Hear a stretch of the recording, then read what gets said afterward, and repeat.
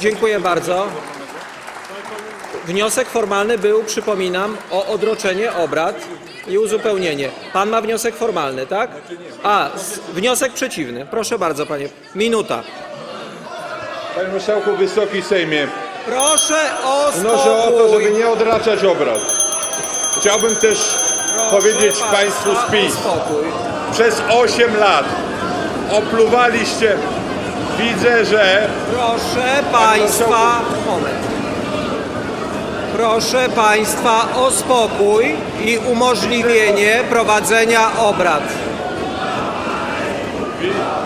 widzę, Drodzy Państwo, mamy w dniu dzisiejszym procedować ustawę budżetową. Wszyscy zdajemy sobie sprawę z tego, jak ważna jest to ustawa. Bardzo Państwa proszę o umożliwienie prowadzenia 16 lat obrad. W związku z brakiem możliwości prowadzenia obrad zarządzam 5 minut przerwy w obradach i zwołuję konwent seniorów do ciemnego saloniku. Bardzo proszę Państwa ze mną. Drodzy Państwo, nie tak się umawialiśmy. Widzę, że posłom PiS spodobał się wczorajszy wyrok i apelują, aby sąd rejonowy szybko zastosował areszt wobec pana Macieja W. i Mariusza K. Jestem również za tym. Panie Marszałku, jeżeli chodzi o wniosek formalny, Państwo tutaj prezentujecie niebywałą bezczelność. Przez 8 lat opluwaliście opozycję. Przez 8 lat opluwaliście Donalda Tuska. Przez 8 lat prowadziliście tępą, prymitywną propagandę w TVP.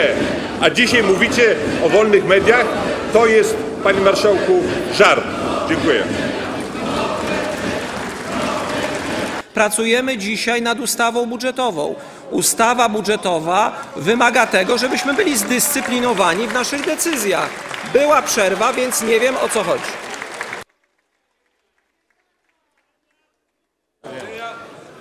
Powracamy do rozpatrzenia punktu 55 porządku dziennego sprawozdanie Komisji Finansów Publicznych o rządowym projekcie ustawy o zmianie ustawy o szczególnych rozwiązaniach służących realizacji ustawy budżetowej na rok 2023.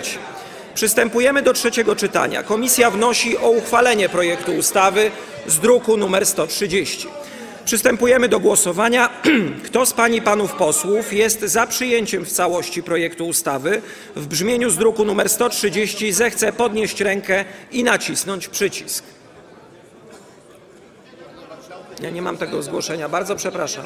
Moja również. Proszę porozmawiać z sekretariatem. Kto jest przeciw?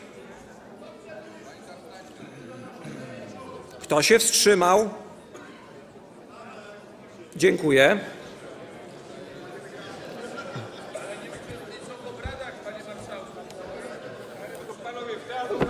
Głosowało 293 posłów, za było 247, przeciw 42, wstrzymało się 4 posłów. Stwierdzam, że Sejm uchwalił ustawę o zmianie ustawy o szczególnych rozwiązaniach służących realizacji ustawy budżetowej na rok 2023.